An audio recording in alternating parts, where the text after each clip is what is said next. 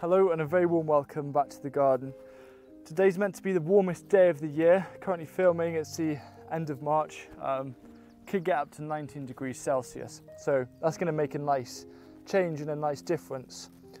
One of the biggest things that people very often ask about when it comes to growing food is what do we do in shady corners? So this here may not look it, but it's actually the shadiest part of the garden because once those trees behind me come into full leaf, uh, by now this will be in shade. So I want to show you seven crops that are perfect for growing in shade, as well as some other ways that you can use shady corners to increase the productivity of your garden.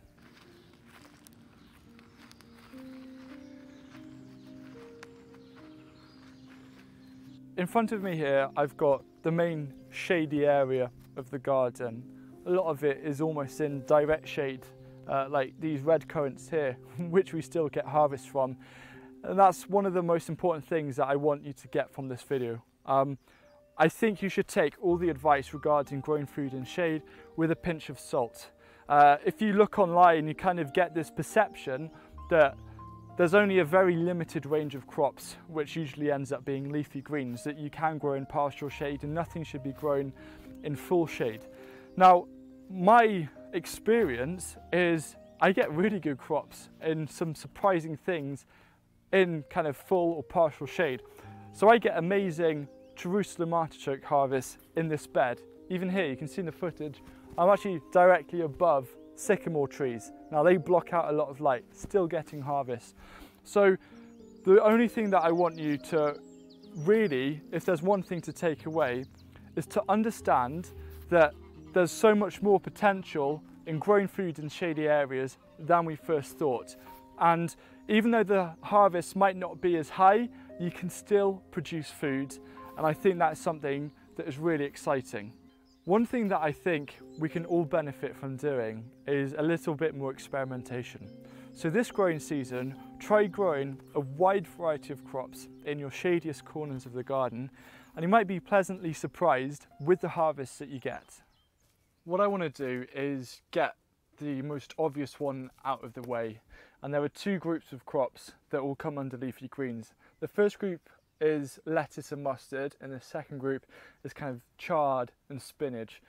Now these are super easy, they absolutely thrive in partial shade. Now in terms of a strategy, if you only have a small garden, you should prioritize growing those kind of salad type crops in your shady area to free up space in the sunnier parts of your garden to grow more sun loving crops, for example, peas.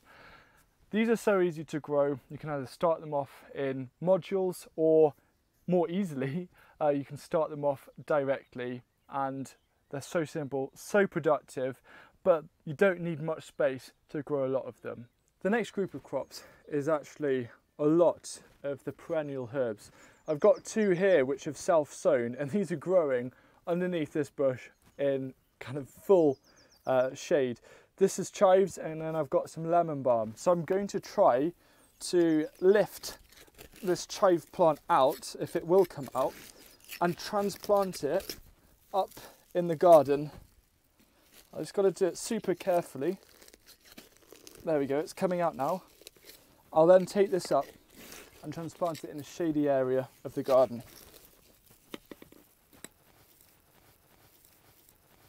Here's a clump of chives. It smells absolutely amazing. I could divide these, but I'm going to grow them all together so it can develop into a bigger plant sooner.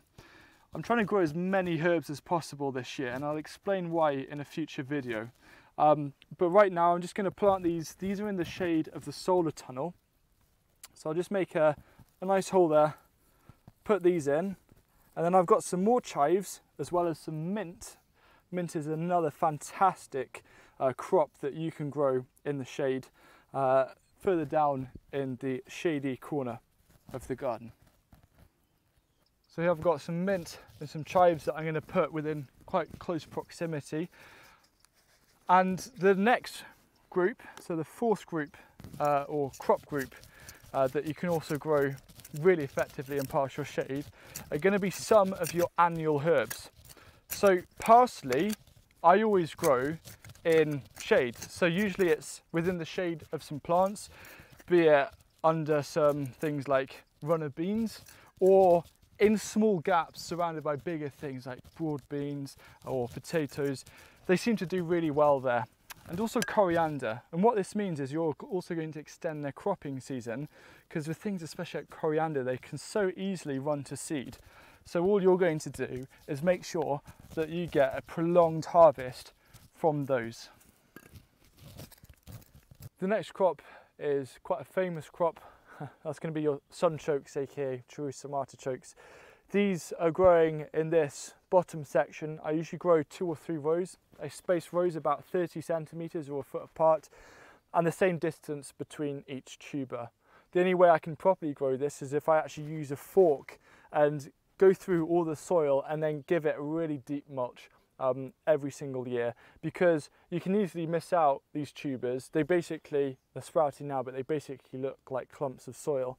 Um, but these have been grown here for 15 years, consistent results. You can grow them in big containers as well in your shady areas. And it's just really nice to have a crop uh, that you can grow in a shady area that's going to give you harvest all through winter. Another crop is rhubarb. I'm actually going to show you this patch rather than the same patch twice. And look at this, absolutely amazing. These rhubarb were actually grown from seed, so you can start rhubarb from seed, and they just take a bit more time to develop. Um, but they taste absolutely amazing, a brilliant crop during the Hungry Gap, and they work really well in shade. In fact, shade is almost a way of uh, forcing rhubarb um, and they still grow amazingly. The rhubarb patch up in the main garden has been going for a good 15 years. Now, if you want to try something different in a shady area, I recommend actually growing broad beans and peas for shoots. Not for the pods, but for the shoots. They're so easy, you can grow them really close together. They work really well in shady areas and it means that you have a different kind of harvest. So it's always nice to have a diversity of different types of things that you can chuck into salads, use as sides, chuck into main meals, uh, and broad bean and pea shoots really work well for that purpose. There are three other things that you can do with your shady areas which are particularly suited if you have a smaller space to grow. The first thing is probably the most important and that's a place to produce compost. The other side of the trellis is south facing, so when everything leaves up, this actually becomes quite shady. So this is a fantastic area to put your compost bins because it's not prime crop growing conditions. So what you can do instead is grow and produce amendments that you can place onto your soil to make your soil healthier. Another use for shady areas is especially if you have a roof or a collection point for rainwater or any other kind of water, then is a perfect place to put in water storage. The great thing about shady areas is that it keeps it cool. It's quite a warm day today, but I'm feeling this barrel. It's so cool. Um, it is really nice and it maintains uh, the quality of the water.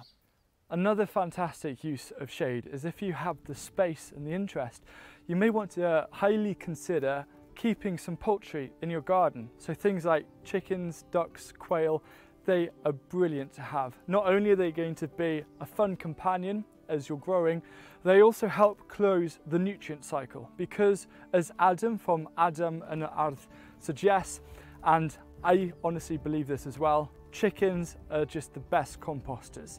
So by having that closed nutrient cycle within your garden, you're making your garden more sustainable and resilient as a result.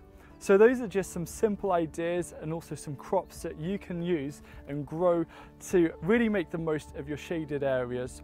I really hope you found this interesting and if you have any questions don't hesitate to ask them down below in the comments and I look forward to seeing you again soon next week.